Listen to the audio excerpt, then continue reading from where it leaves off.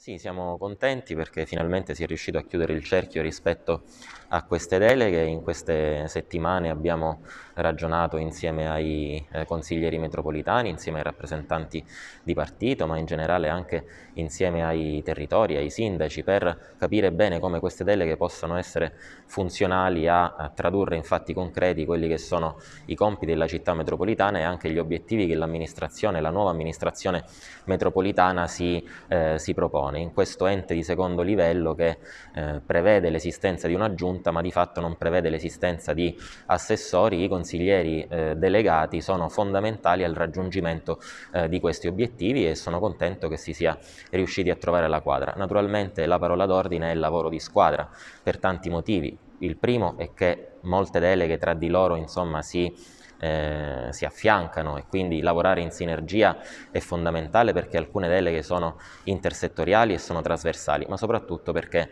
eh, i territori metropolitani, come abbiamo visto anche in questi giorni nei sopralluoghi, negli incontri fatti nella Locride, fatti a Platia, a San Luca, hanno un, uno stretto bisogno di sentirsi vicina alla città metropolitana. In questo senso naturalmente c'è bisogno di tutti, ci, ci sarà bisogno anche dei consiglieri di, eh, di minoranza, quindi